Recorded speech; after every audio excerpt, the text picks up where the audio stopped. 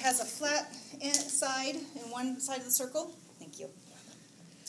One side of the circle is flat, the top edge, and then this edge has two extensions, just like your size 2 matrix bands for amalgam, and so that goes toward the gingiva.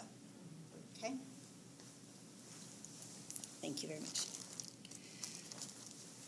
Um, you don't want when you put it on around the tooth, you want to make sure that you don't bend the ring too much. Mine got a little bent out of shape because this is what's going to tighten the plastic around the band. So you need to squeeze it from the outside and that'll push the metal toward the tooth and that cinches it up. Okay? Hmm. So, which is why it's called a pinch matrix, matrix because you pinch it.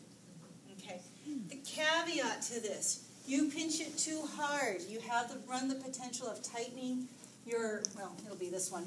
You have the uh, you can accidentally tighten this too much, and then the band won't touch the adjacent tooth, and then you don't have a contact. You have an open contact. Okay, so don't tighten it too much. That's the big thing with these. Okay, which is why I don't always let students Yeah. use them. So.